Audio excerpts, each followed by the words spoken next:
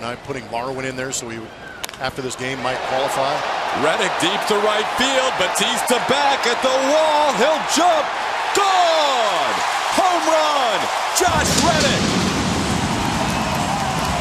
The Astros take a 2 to 1 lead.